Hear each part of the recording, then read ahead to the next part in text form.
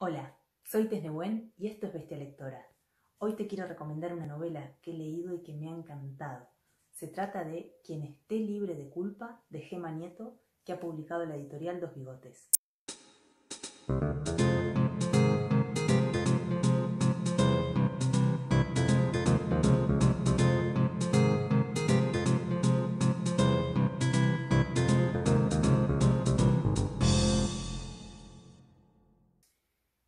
Que podamos hacer algo no significa que debamos hacerlo.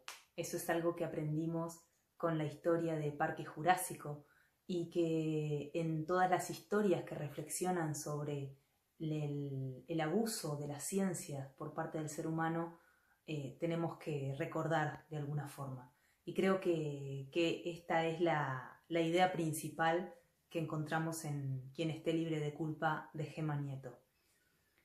Me ha interesado muchísimo, en primer lugar, la estructura, porque parte de lo íntimo hacia lo colectivo, de las casas hacia la em, rebelión colectiva, de lo íntimo de la identidad a, a lo público de la identidad, por decirlo de alguna forma, de la identidad de un individuo a la identidad de un grupo que se siente hermanada hermanado a través de, determinadas características. Ese, ese, elemento de la novela me, me ha parecido que está muy bien logrado y te va llevando y conteniéndote a medida que avanzas en la lectura. El tema principal de la novela podría ser la relación que establecemos con la naturaleza. De alguna forma, eh, a lo largo de la, de la, historia, vamos comprendiendo a través de los personajes cuál es nuestro lugar en, ese, en este planeta.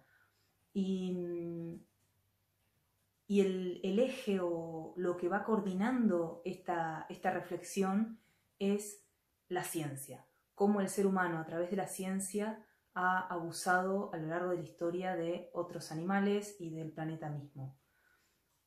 Y eh, básicamente podríamos decir que nos presenta una historia semifuturista en una época en la que la ciencia ha avanzado mucho y ha conseguido que la procreación humana sea posible a través de vientres de alquiler que no sean humanos. Em, creo que contándote esto no te revelo nada y, te puedo explicar un poquito más eh, de, qué va la, la novela. La ciencia consigue avances que todavía al día de hoy son imposibles pero que ciertos, ciertos elementos de la realidad científica nos dicen que vamos camino a eso. Sobre todo por, la actitud que el ser humano tiene con respecto a la naturaleza y ese deseo de, control que, bueno, que nos caracteriza lamentablemente como especie. Para contextualizarnos, Gema ha desarrollado dos personajes que me han interesado muchísimo, que son Beatriz y Víctor quienes se ven totalmente comprometidos con esta realidad y por diferentes razones viven experiencias a lo largo de la novela que los llevan a hacerse preguntas acerca de su propia identidad. Y es a través de esa búsqueda íntima de cada uno de estos personajes como Gema Nieto consigue que comprendamos el entramado social y las implicaciones éticas y morales que tiene esa realidad.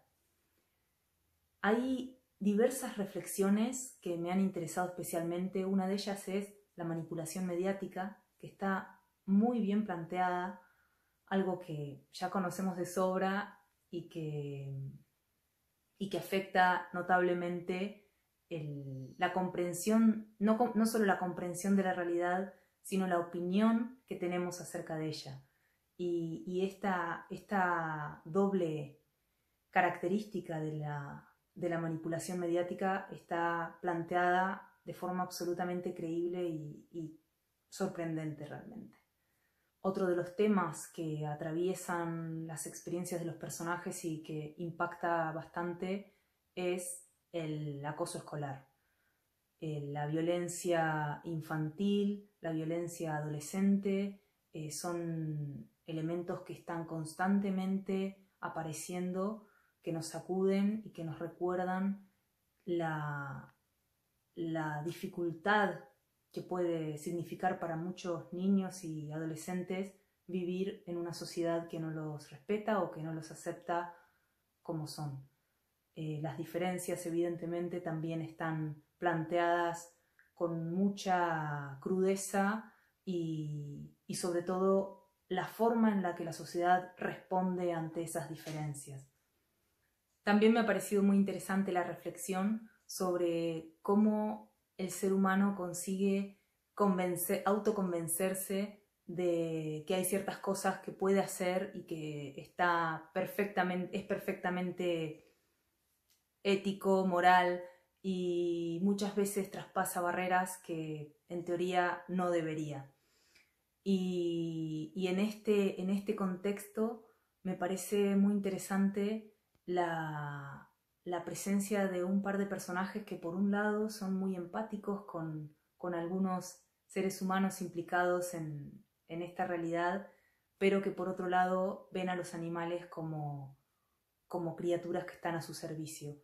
Y esto me ha, me ha sacudido porque me parece que es, es una reflexión totalmente contemporánea y que, y que no nos vendría nada mal eh, tener presente.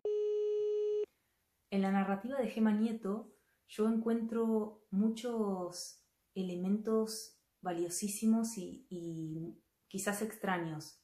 No es una escritora contemporánea al uso.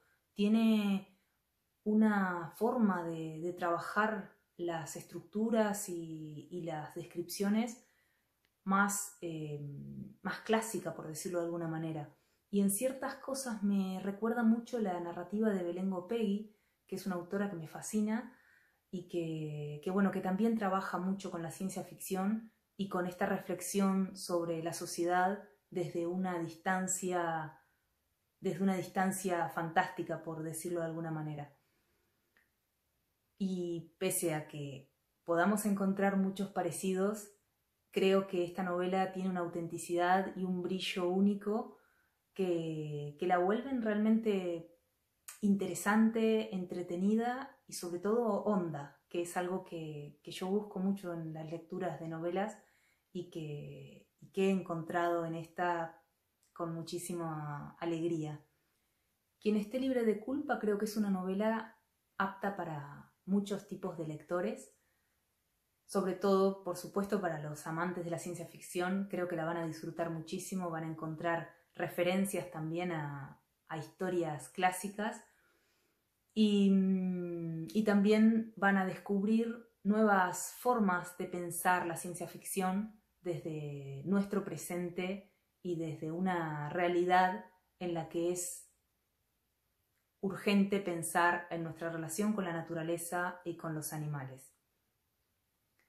También creo que es una novela apta para aquellas personas que no sean lectoras de ciencia ficción, pero que busquen una buena historia que los sacuda y que les haga reflexionar acerca de, su, de nuestra propia realidad.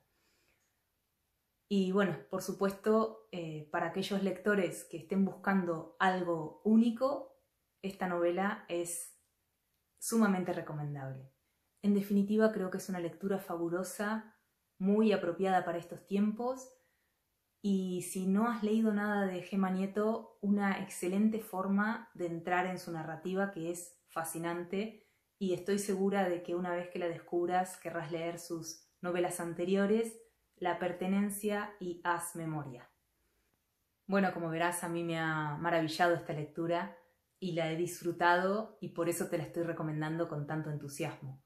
Me parece que es una novela que nos puede servir para entender sobre todo que los seres humanos siempre tropezamos con la misma piedra y que nuestro objetivo debería ser cada vez ser más conscientes de la piedra y, bueno, y tratar de trabajar en equipo para, para superar nuestras, nuestras miserias, por decirlo de alguna manera. Creo que te va a encantar, así que dale una oportunidad.